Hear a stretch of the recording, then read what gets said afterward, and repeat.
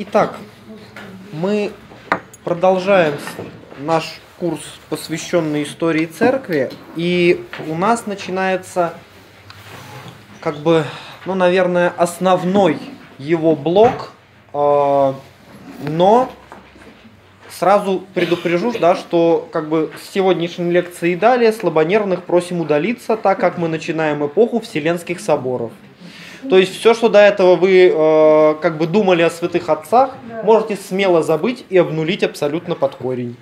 Потому что мы теперь увидим эту историю совершенно с другой стороны, в самом хорошем, конечно, смысле этого слова, но как в любом классическом голливудском боевике, все хорошее будет в самом конце. Если серьезно, да, то э, смысл каков? Э, до определенного момента времени да, мы говорили с вами, э, церковь сознательно не э, выводит свое учение в рамках каких-то системных, четких, отточенных формулировок. Потому что, кроме всего прочего, кажется, что оно и так общепринято и общепонятно. Да, то есть все ясно, вся эта вера... Да нет, нет, если что не холодно совершенно, я... как, как окружающим. То есть вся эта вера проповедана апостолами, э, собственно, в текстах новозаветных все понятно, да, но уже на этапе э, второго века мы с вами видим, да, что для целого ряда людей не все понятно даже на уровне новозаветных текстов. То есть, пожалуйста, какой блок из этих текстов мы включаем в канон, а какой не включаем. И вот у нас, э, например, тот же самый Маркион, который в свой Новый Завет включает 14 текстов. Да, и вот, например, канон церкви, который включает 27 текстов в Новый Завет. Далее, да, определенного рода, ну скажем так, э, догматические споры имеют место время от времени.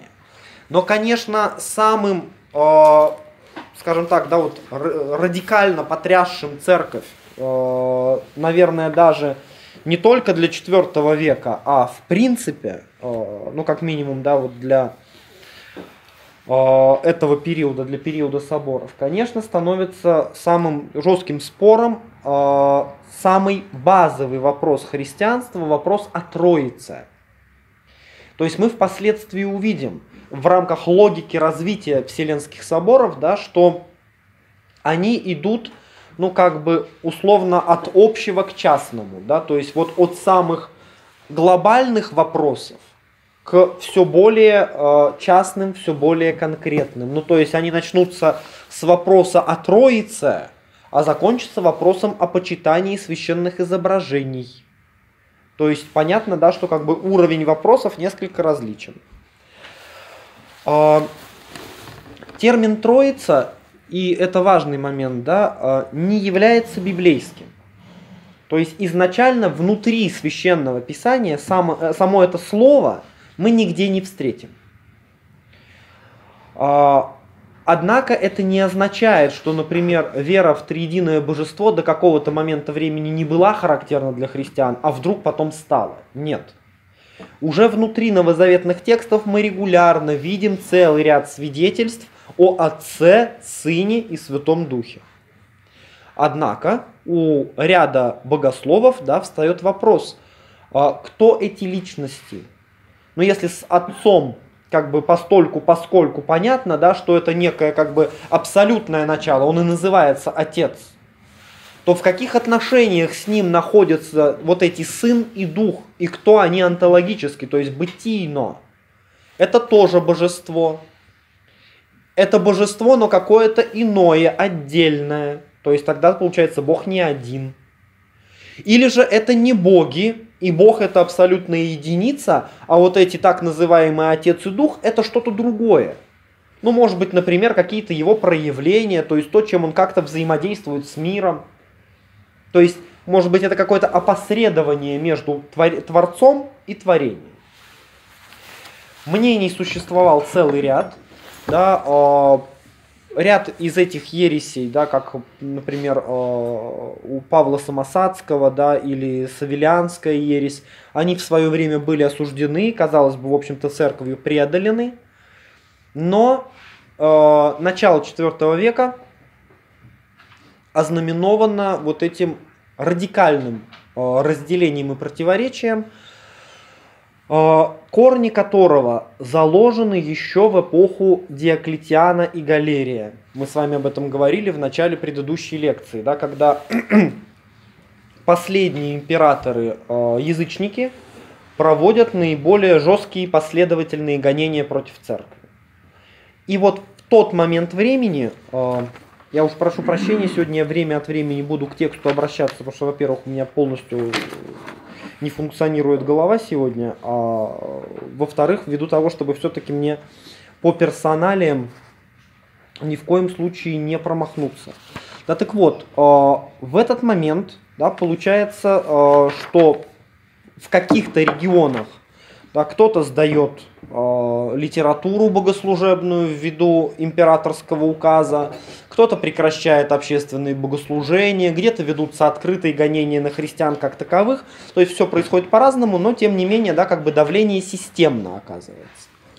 И мы говорили с вами, упоминали о, при, о примере Александрии, где епископ Александрийский Петр был вынужден выехать из города и как бы формально прекратить богослужение в самом городе.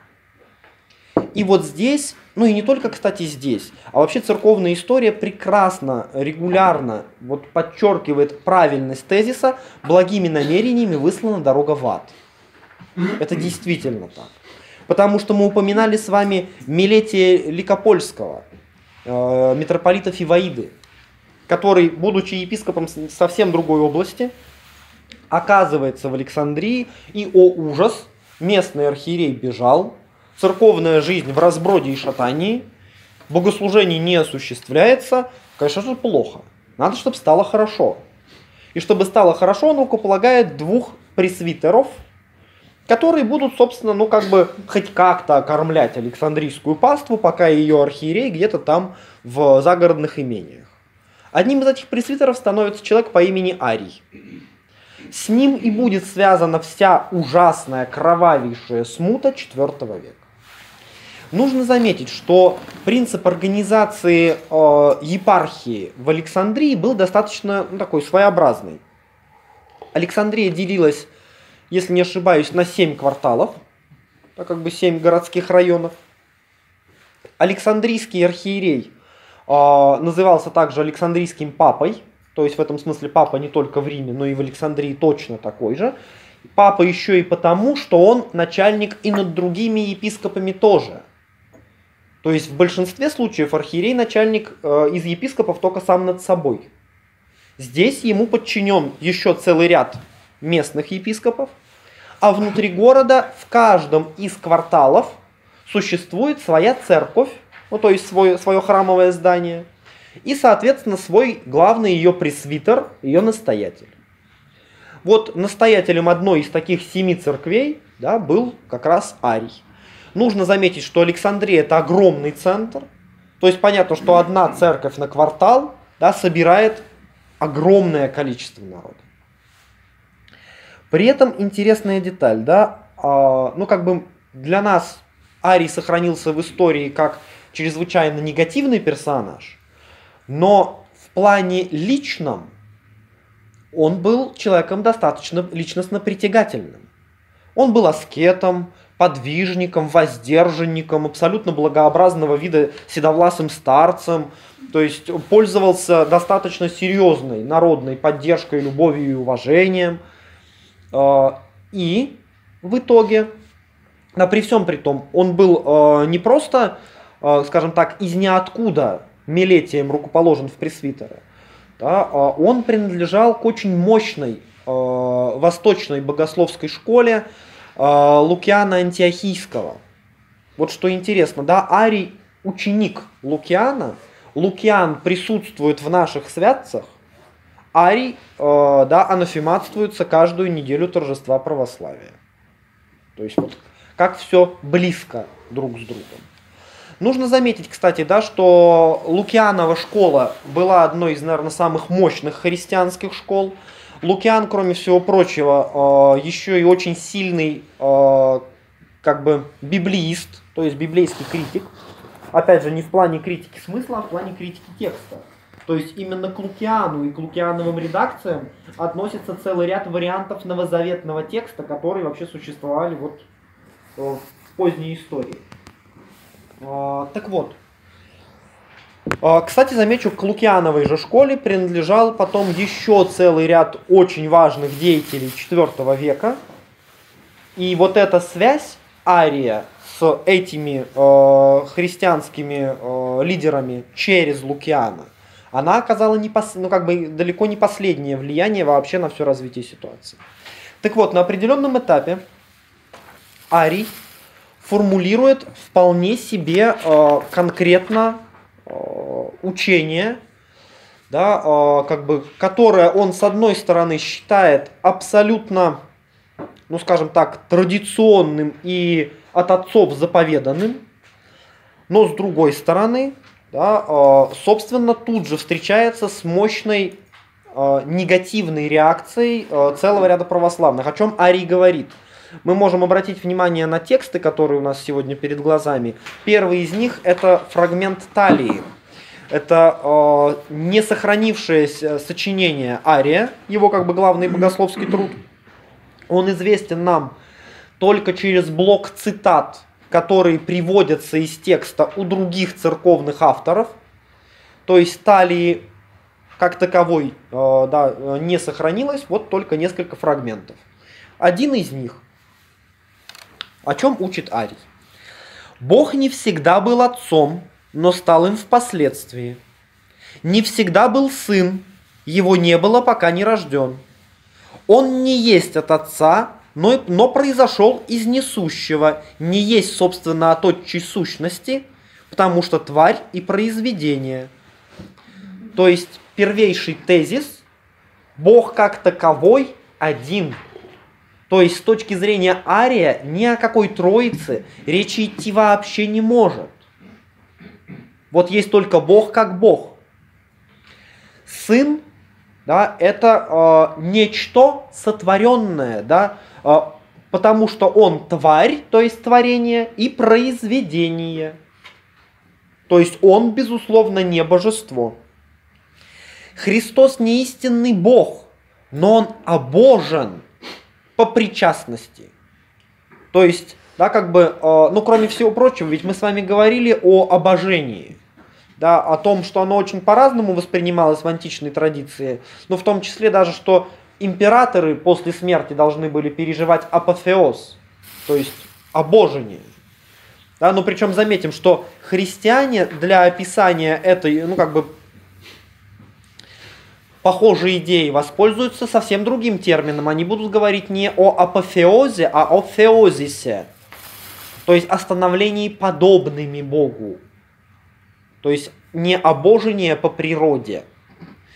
Здесь, соответственно, также да, проводится идея, что Христос обожен. То есть ему как бы Отец придает некие э, черты божества. Сам сын их не имеет. Сын не знает в точности отца. Да, то есть между ними нет вот этой прямой связи, на которой, кстати, настаивает Евангелие. Да, я и отец одно.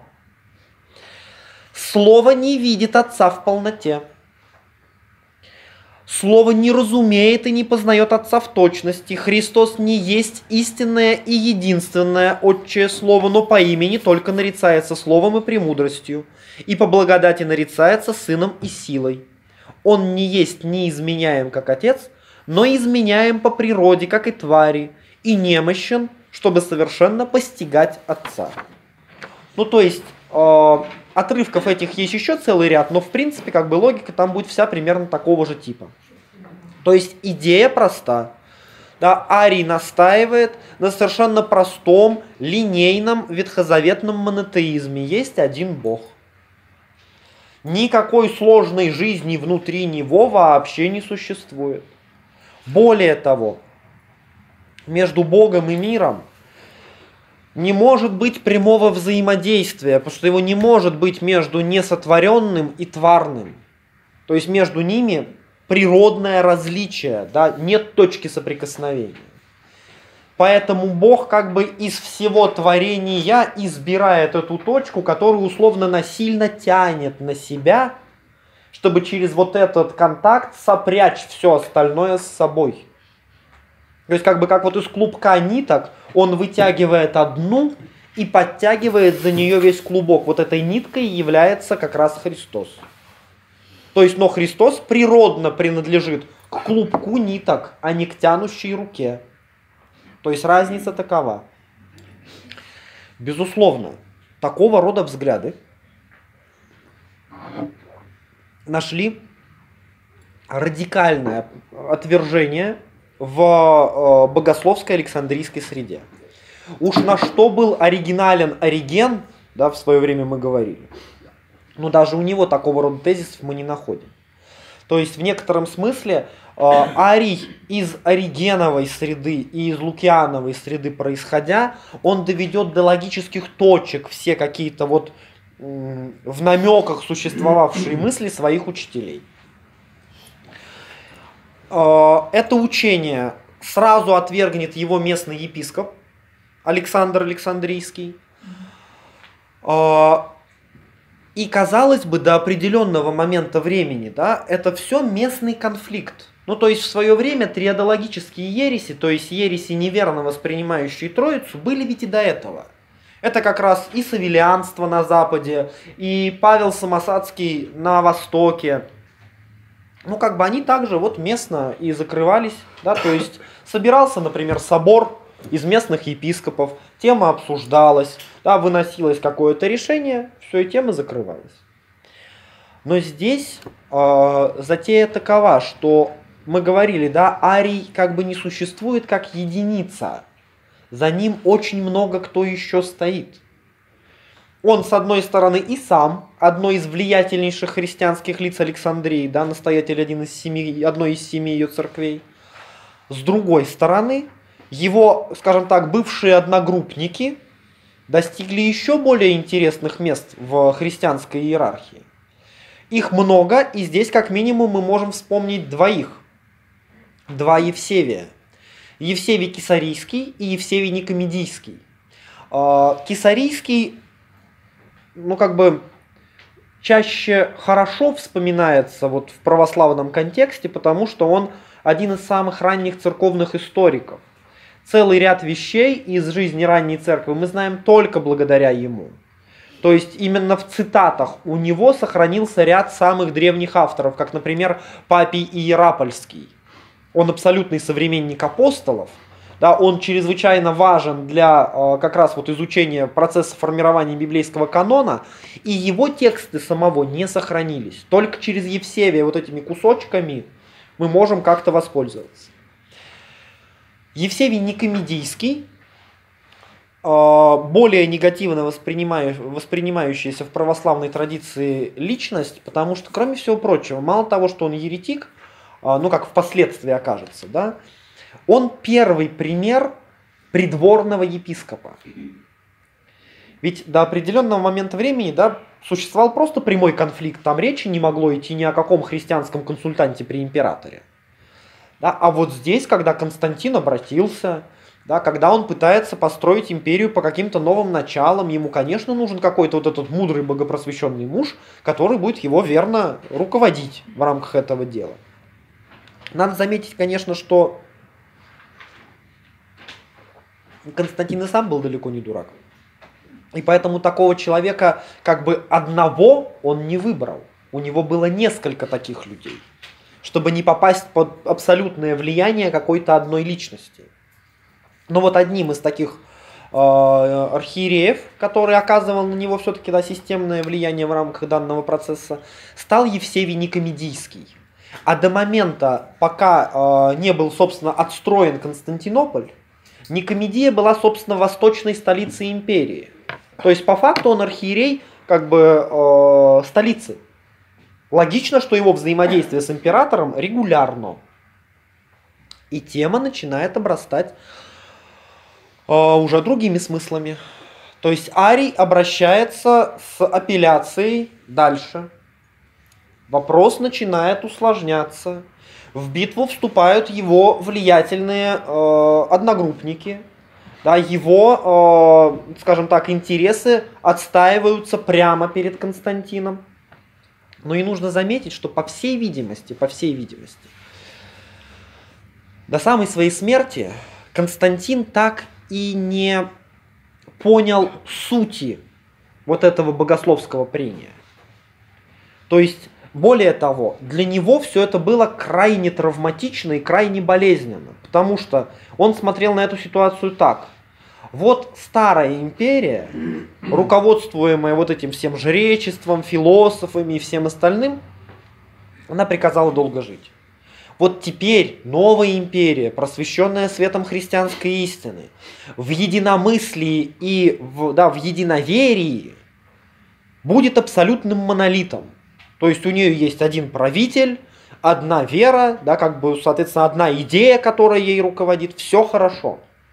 И вот буквально как только прошла череда его политических удач, вот он буквально, ну вот до этих событий, наверное, года за 4 э, до этого да, победил Лициния, своего восточного коллегу, да, и стал, соответственно, императором э, всей империи как таковой.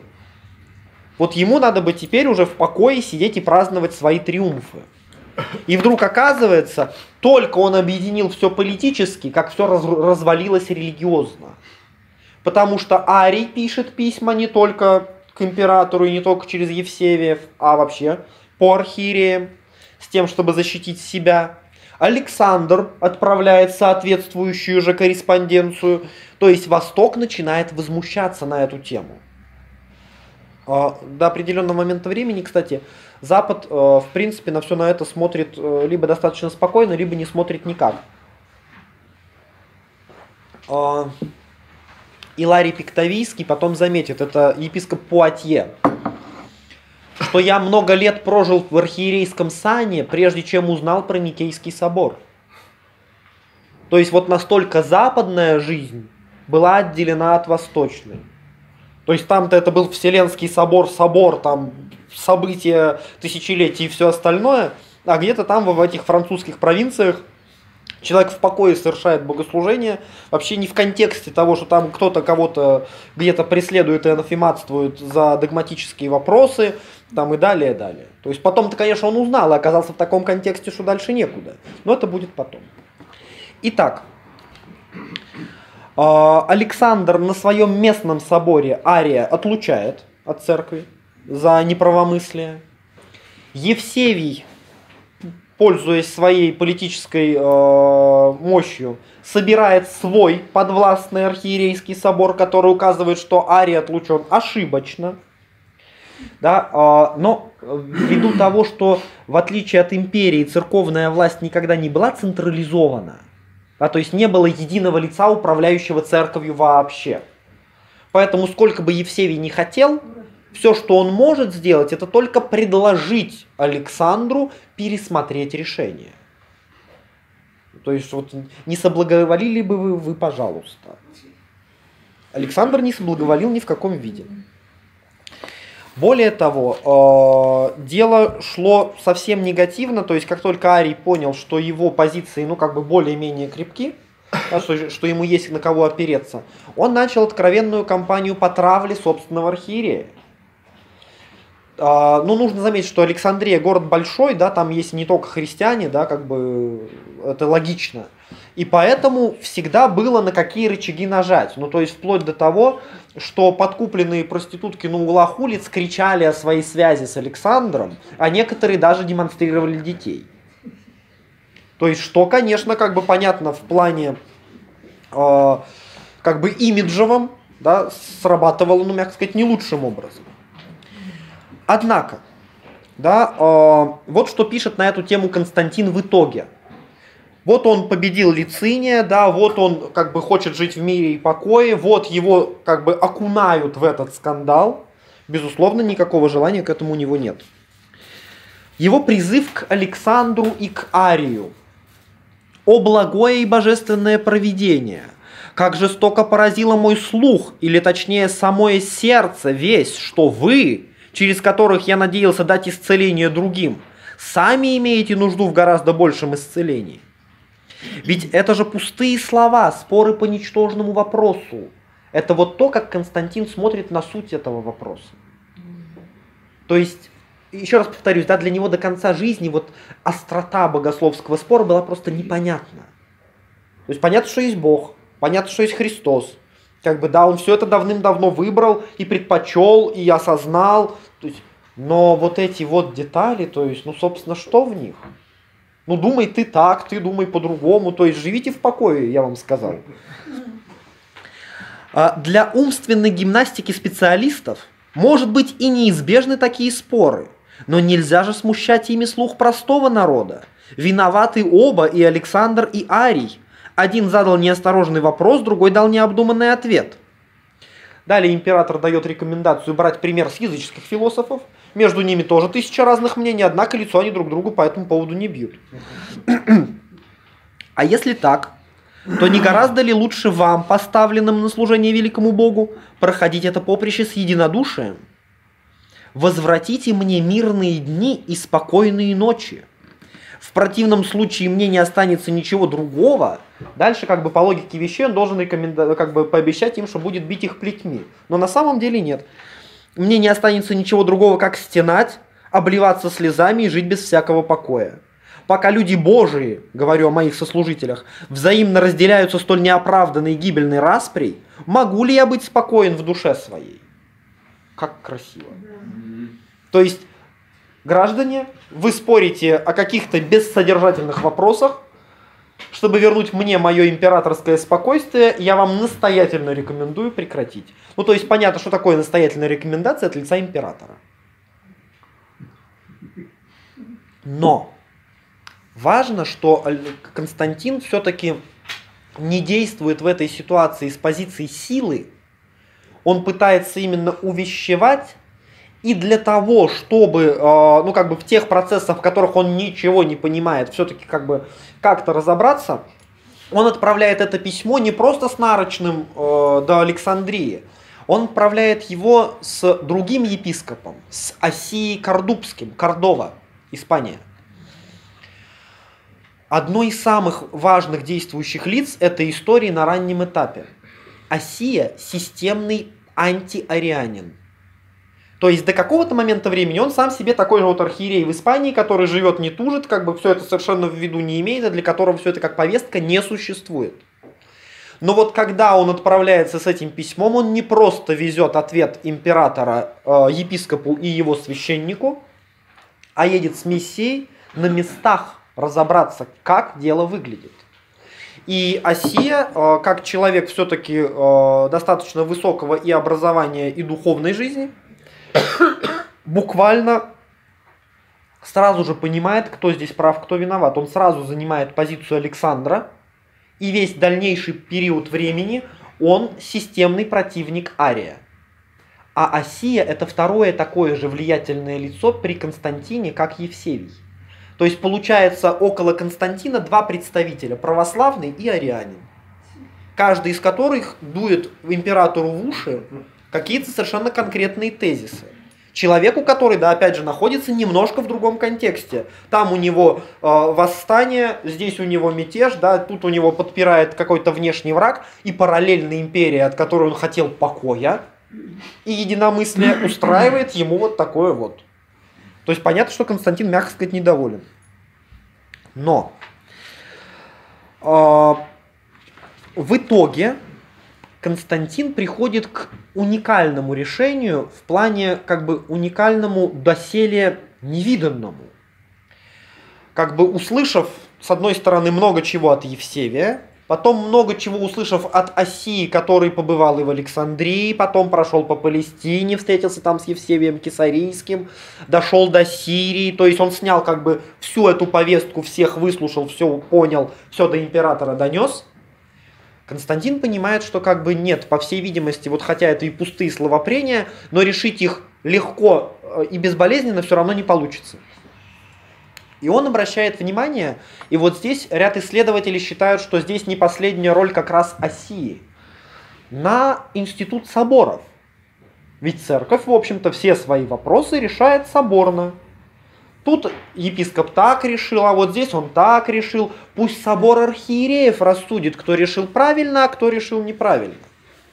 Но параллельно подходит 20-летие э, императорского служения Константина. Соответственно, под это дело он готовит какие-то большие мероприятия. Ну, логично же. И у него в голове все сошлось. 325 год будет годом Вселенского собора. То есть 20-летие моего правления я ознаменую сбором в одном месте епископов со всего света. Сильно ведь? Сильно. Что он делает? Да? А, империя оплачивает весь этот процесс от начала до конца. Посыльных лошадей, проживание значит, в Никее, там целый ряд других моментов. Все это как бы за полный Константинов счет. Константин приветствует каждого участника собора лично, встречая в дверях. Лобзает его и оказывает всяческие любезности, особенно мученикам – потому что еще к этому моменту времени многие архиереи, приехавшие на собор, это люди, которые сидели при предыдущих императорах, были в ссылках, э, там, потеряли руки или ноги, и, соответственно, как бы, конечно, их трогает такое отношение императора к их страданиям. Собор собирают э, очень пышно. Э, Констан... И вот здесь как бы, да, специфика-то какая? А, в, в поместных соборах все понятно. Кто глава этой области, тот собором и руководит. Ну вот условно, да, собираемый собор Ярославской епархии, да, руководить им будет митрополит Ярославля, потому что это метрополия, это главный город. А, также, например, там Александрийский собор собирается, вот им руководит Александрийский папа, да, ряд остальных епископов как бы находятся в прениях, например. А как здесь? Ведь нет универсального епископа над всеми, который бы руководил этим собором. Епископы собраны откуда угодно. Ну, он, конечно, вселенский постольку поскольку. С одной стороны, это, конечно, огромное число архиереев, 318 человек на него собирается. С другой стороны, например, весь Запад представлен тремя участниками. Ну, то есть, вот опять же повторюсь, да, что для большинства из западной церкви вот до определенного момента времени это даже как вопрос не стояло. Но это опять же потому, о чем мы с вами говорили, да, разница языков. Вот то, о чем говорят на Востоке, не вполне понятно, как богословская повестка на Западе. А, ну, например, также да, призываются епископы и даже из-за границы империи от э, Кавказа, от черноморских территорий, из Персии. То есть все равно представительство очень большое. Тот же самый святитель Спиридон, да, участник этого собора, святитель Николай, по всей видимости, участник этого собора.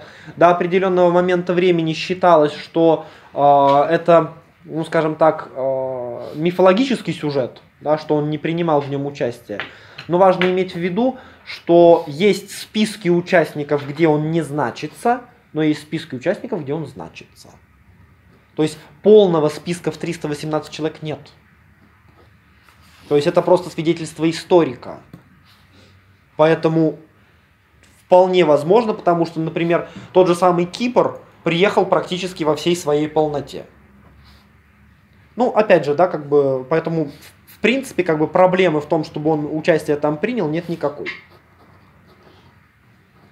начинаются прения. Император присутствует на соборе как раз вот в рамках такого рефери, в рамках этого процесса, да. Опять же, замечу, да, что император не крещен. То есть он э, как бы он скоро войдет в число оглашенных, ну то есть уже как бы вот э, готовящихся к крещению, но на этот момент времени еще нет. То есть это языческий император, который собрал христианский собор для решения христианских догматических вопросов и занимает на нем э, судейскую позицию для того, чтобы одна часть боголюбезных отцов не переубивала другую. В принципе, все естественно. А, вот этот принцип работы, он берет из римского сената. Потому что, да, как раз вот э, такого рода заседания, прения, принятие решений, как бы для государственной практики вещь, в общем-то, понятна. Собор заседает, на нем, э, собственно, причем длится он не очень долго. Он открылся 20 мая, 19 июня было уже принято главное постановление, а 25 августа уже было торжественное закрытие с юбилейным банкетом в честь 20-летнего, 20-летнего э, пребывания Константина на престоле. Все. То есть в один сезон уложились. То есть за лето как бы и все вопросы решили, и Константинов юбилей отпраздновали, и по домам разъехались. Что самое специфичное. Э, долгое время, да, как бы отцы спорили вот над этими формулировками, особенно не приходя ни к каким конечным э, выводам и итогам. Э, прения шли ну, достаточно болезненно. Э, к тому времени, например, уже э, как пособников, как пособника Ария э, отлучили от церкви Евсевия Кисарийского, вот того самого историка, да. Кстати, Евсевий Кисарийский это автор текста Вита Константини, «Жизнь Константина», то есть он его биограф. Поэтому, кроме всего прочего, в ряде соборных решений император особенно благожелал, чтобы Евсевия все-таки вернули в церковное общение. Ну, ему пошли навстречу. Так вот, а, именно Евсевию Кесарийскому принадлежит идея, а, ну как бы, чтобы умерить всю церковь, сойтись на тексте старого крещального символа веры. Ну, то есть логично, это вера, разделяемая всеми в самом прямом смысле слова. Каждый, кто крестится, ее гласно э, озвучивает перед крещением. Все логично, все логично. Но проблема в том, что символ веры не содержал как бы узких однозначных богословских формулировок. То есть, ну, например, фраза, что сын от отца, она же может быть трактована как угодно. Он от отца вот в плане, да, как бы Бог от Бога. Или это он, он от Отца, как все творение от Отца. Вообще все, что в мире существует, оно все от Отца. И вот здесь, да, как бы мы видим, да, с одной стороны, ариане напирают на расплывчатые формулировки. Остановимся на символе веры. Вот какой он был, от отцов преподан, на том и будем. А со стороны православных, закидывает императору другую идею. И вот она сыграла решающую роль он, э, как бы понятно, что предлагает ее не Осия, а сам Константин. Он говорит, прекрасная идея, давайте остановимся на символе веры, за маленьким «но». Добавим в него одно единственное слово, просто чтобы уточнить повестку. Сын пусть будет определен как единосущный отцу. И это проясняет все сразу. Ведь хорошо же, хорошо же участники собора подписываются под соборным вероопределением все за исключением двух. Причем не подписались два ливийских епископа, область которых была параллельно в рамках соборных решений приписана к области Александрийского патриарха. То есть не из догматических соображений, а в принципе в честь чего бы это вдруг. Да? То есть все остальные приняли это решение как один, включая всех Евсевиев, Ария там и всех-всех-всех. Казалось бы, то есть Константин мог праздновать 20-летие в абсолютном покое, все сработало. Причем термин происходил из Александрийской же школы. То есть Осия тоже его не сам выдумал. Александр Александрийский присутствовал на соборе. С ним присутствовал его, скажем так, референт, диакон Александрийской церкви Афанасий. И, видимо, Афанасию принадлежит идея термина «единосущее». Он ее как бы сумел донести до Александра, Александр до Осии, Осия до Константина, Константин для, до всех. И так дальше исторически сложится, что Афанасий будет вынужден, скажем так, трудиться над апологией этого термина всю свою жизнь. То есть он его предложил церкви, но он свою жизнь положит на то, чтобы церковь реципиировала это, то есть сумела это услышать и принять. Собор закончился, все счастливо разъехались. Текст был примерно следующий.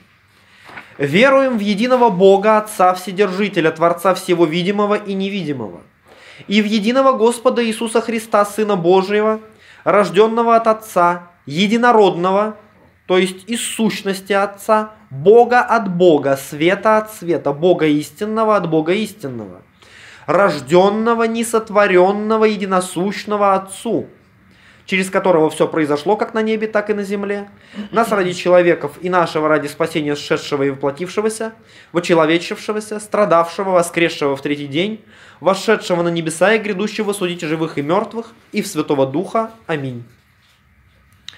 Определение заканчивалось анафематизмом. Говорящих, что было время, когда не было сына, или что он не был прежде рождения и произошел от несущего, или утверждающих, что Сын Божий из одной ипостаси или сущности, или создан, или изменяем, таковых анафематствует кафолическая церковь. То есть, по факту, вероопределение все-таки отличается от нашего привычного сейчас нам символа веры но восходит к крещальному символу. Опять же замечу, к крещальному символу одной из церквей. Потому что каждая церковь все равно как бы в рамках своей литургической практики пользовалась каким-то своим символом веры. Ну, например, существует так называемый Афанасьевский символ веры, то есть символ веры, которым пользовалась Александрийская церковь. Существует еще ряд символов, креща, крещальных символов веры, которыми пользовались другие церкви. Опять же, да, э, здесь не было какой-то вертикальности, да, вот этой вот отстроенности, просто потому что она казалась не нужна. То есть все же исповедуют одну и ту же веру. Потом практика показала, что она ой как нужна. Так вот, э, все все подписали, да, э, от епископов на соборе председательствовал патриарх антиохийской церкви, да, то есть все разъехались мирно по домам, и маленькое но, да, как бы, соответственно, Евсевии вернулись на свои кафедры, то есть вроде бы как бы тишина и покой. Арий, соответственно, был из церковного общения отлучен, как возмутитель, еретик и все, там, все остальное. На этом соборе. На этом соборе. Да, то есть, казалось бы, вот оно как бы все, и тут и сказки конец. На самом деле это только начало. То есть, как э, старый придворный интриган, Евсевий Никомедийский понимал, что большинство отцов собора вообще не очень поняли смысла и значения этого термина. Более того, не просто не очень поняли, а уехали домой в большом смущении. Почему? Ну потому что если Троица это не библейский термин, мы встречаем там только отдельно Отец, Сын и Святой Дух, но уже со второго века все-таки да, этот термин регулярно употребляется, то единосущие – это чистый философский термин. Он вообще никак не зациклен в библейский текст. Ни так, ни эдак там не встречается. Соответственно, как можно церковную веру определять философской терминологией? Это же внешний и чуждый термин. И большинство отцов уехали вот как бы в такого рода сомнениях. И оба Евсевия это прекрасно понимали. Что теперь, когда вот вроде бы все выдохнули и успокоились, можно начать настоящую системную работу. И они ее начали. То есть, опять же, да, как бы здесь, наверное, все-таки большая ответственность на никомедийском Евсевии, чем на кесарийском, но тем не менее. Начинается, во-первых, процесс выдавливания системных сторонников единосущия. То есть ведь были же епископы, которые сознательно как бы продавили этот термин, которые за ним что-то видели и понимали, что он значит. Поэтому, кроме всего прочего, одним из первых удаляется э, в ссылку патриарх Антиохийский по целому ряду обвинений. То он оскорбил цареву мать, когда она путешествовала в Палестину. Совершенно мрачная история, ничем особенно не подтвержденная. А то там еще как бы там против него выдвигается ряд обвинений. В итоге он отправляется в изгнание с большинством клира. То есть большинство священства последовало за ним. Ну как за абсолютно неправедно осужденным. А, при этом ну, например, до Рима далеко, да, и римского архиерея как бы оттуда особенно никак не сдвинуть. Поэтому как бы эту тему они до какого-то момента времени закрывают. А дальше умирает Александр, и на его место избирают, о ужас, Афанасия. То есть абсолютно системного православного, который вот сам этот термин предложил, который на нем настоял и который понимает, что он значит. И начинается настолько черная кампания по поводу Афанасия, что сравнить ее вообще можно мало с чем. То есть вот современные нам средства э, черного пиара, вот это четкий пример того, что нет ничего нового под солнцем. То есть в свое время все это работало прекрасным образом. Э, с Афанасием вот какая штука. Да? Э, в это время в э, Александрии существует вот этот там небольшой раскол, и Афанасия, кроме всего прочего, это как бы звучит своеобразно, но его в этом обвиняли на самом деле. Перед императором обвиняют в том, что он убил альтернативного епископа, отрезал его руку и использует ее в своих чернокнижных ритуалах. Евсевий собирает в Тире собор, который отлучает Афанасия от церкви. Афанасий приводит этого епископа живьем, и тот демонстрирует обе руки.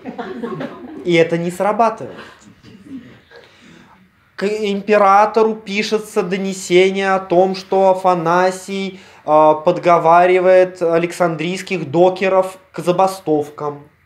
Ну что такое Александрийские докеры? Да? То есть это люди, которые, собственно, как бы в прямом смысле осуществляют э, прокорм всего остального Средиземноморья египетским зерном. То есть грузят его на корабли, которые счастливо отправляются по всему Средиземноморью. То есть это ну, как бы забастовки страшнее, чем желтые жилеты. То есть все как бы это просто голод. Несколько раз Афанасий вынужден ездить к Константину и доказывать на пальцах свою невиновность. То есть, что у мужика осталось обе руки, и он жив. Что с докерами он вообще никогда ни о чем не договаривался. Но вот это момент, да, как бы четкий пример того, что ложечки-то нашлись, а осадочек-то остался. То есть, вроде как бы Афанасий обо всем проговорил и во всем невиновен, но Константин, который больше всего на свете любил мир и покой, все равно начал воспринимать его как, какую-то, как какого-то смутьяна и личность, в общем-то, неблагонадежную. И как бы относился к нему, ну, как бы более чем холодно. Соответственно, глава а, антиохийской кафедры сменен. А, в итоге с а, Александ... с Александрийской кафедрой тоже дело как бы движется к решению. Более того, на каком-то этапе Афанасий немножко неудачно подружился с Маркелом Анкирнским. То есть это э, епископ, тоже абсолютный крайне антиарианин. Он как бы вот не признавал, конечно, никаких этих диких тезисов, которые Арий предлагал. Но, как сказать, он пересолил в обратную сторону. А, Маркел считал, что а, сын не просто во всем подобен отцу, а что и сама эта разница существует только пока есть время. То есть в рамках истории Бог реализует себя как отец и сын. А ведь сказано, да, в Писании, что потом э, сын все приведет к отцу и будет Бог все во всем. Из чего Маркел делает вывод, что различия между отцом и сыном потом не будет. Бог будет абсолютной единицей вне времени. То есть вот закончится история мира, пройдет страшный суд, и Бог будет реализовывать себя как единица. Такого рода учения, безусловно, Восточная Церковь как бы не приняла. То есть это, э, ну, как бы очень странно. Да, более того, это такой отголосок западного модализма. Там существовала ересь, которая утверждала, что, например, э, Отец, Сын и Дух – это вообще не и не отдельные личности, безусловно, а, это модусы божества, то есть проявления. Вот в этот момент времени он проявляет себя как отец. А вот в этот момент времени он проявляет себя как сын. То есть в этот момент времени я проявляю себя как семьянин, а в этот момент времени как гражданин. Да, но это все я. Там природной разницы во мне ведь нет. Я просто поворачиваюсь той или другой своей функцией. Та ересь была давненечко уже на Западе анафематствована. То есть, что нет, это не лиц, ну как бы не маски, это реальные природы. Соответственно, Маркела Восток воспринимает очень холодно. А Афанасий с ним задружился. Ну вот как бы на почве борьбы с арианством. И в итоге и Афанасий, и Маркела Восток анафематствуют. Они вынуждены бежать на Запад. То есть и история начинает приобретать совершенно, э, ну скажем так, э, своеобразное э, развитие. Потому что Константин умирает, и свою империю он пытается, ну, как бы поделить так же, вот как в свое время Диоклетиан на тетрархии. Каждому из своих сыновей дать одну четвертую часть, чтобы они все вместе, да, как бы в единомыслии, этой империей управляли.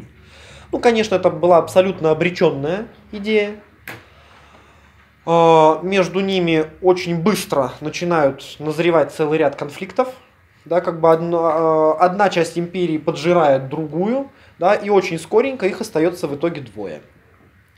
То есть а, кого-то сместили, скажем так, в рамках внутренних интриг, то есть не в рамках какой-то там войны между братьями, да. Кто-то воевал реально друг с другом, да, и в итоге как бы из четырех остается двое. Так, кто у нас здесь? Сейчас одну секунду.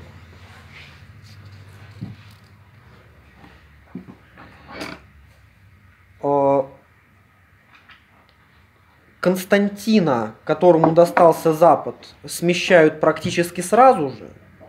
Констанцию достался Восток, а Констанцу достался центр Италии и Северная Африка.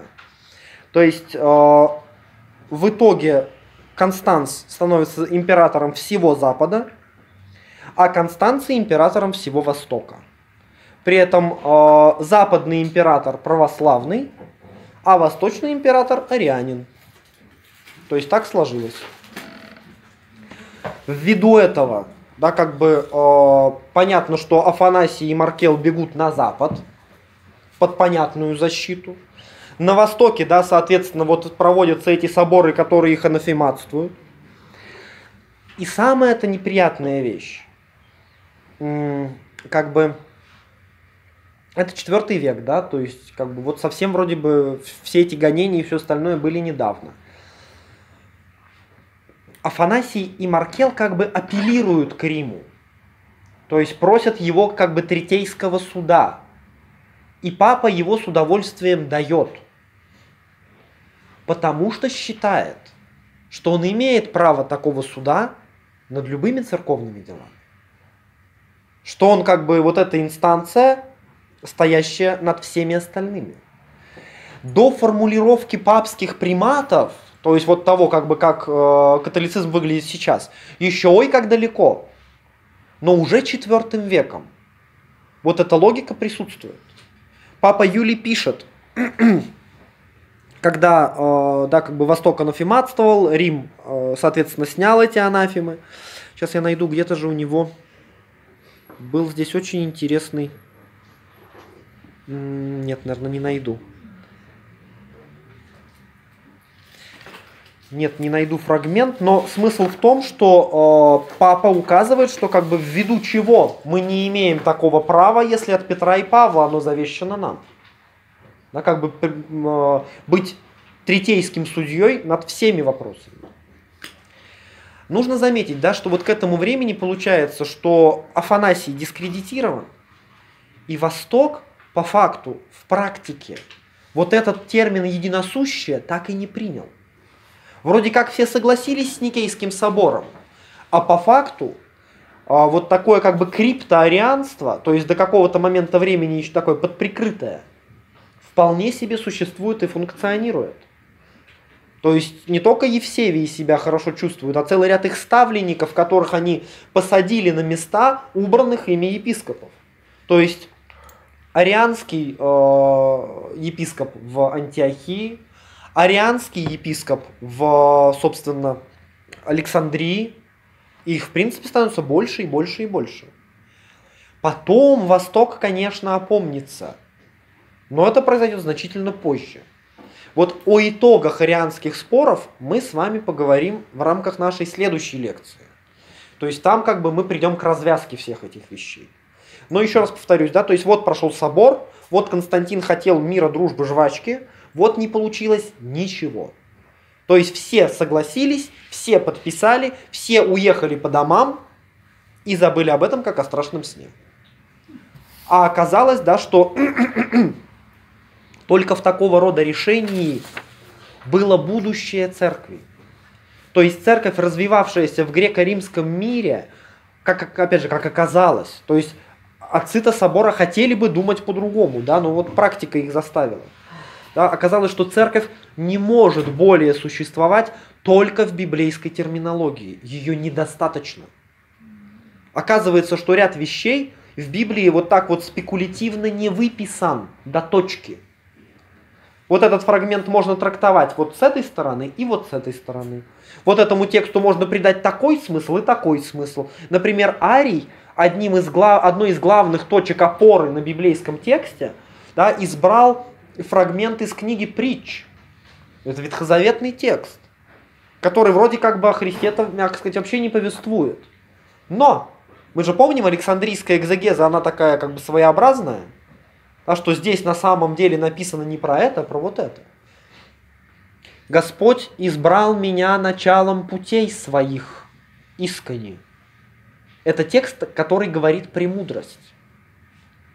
Для Ветхого Завета он очень непонятен. То есть, что такое персонифицированная премудрость? Ведь Бог один. У него не может быть каких-то отдельно живущих проявлений. Что вот у него отдельно личностная премудрость, отдельно личностное что-то еще. Как бы поэтому в Ветхом Завете как бы эта тема не особенно котируется. И Арий указывает, вот эта премудрость говорящая, это и есть Христос. Но только он избран началом путей. То есть он как бы, вот он первая точка для всего остального творения. Это вот, к примеру, тогда как можно по-разному пользоваться библейским текстом.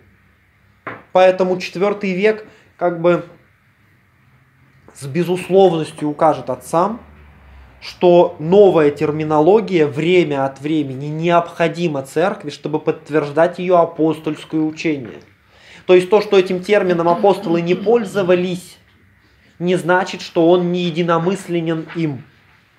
И вот из этой логики потом будут исходить все остальные вселенские соборы.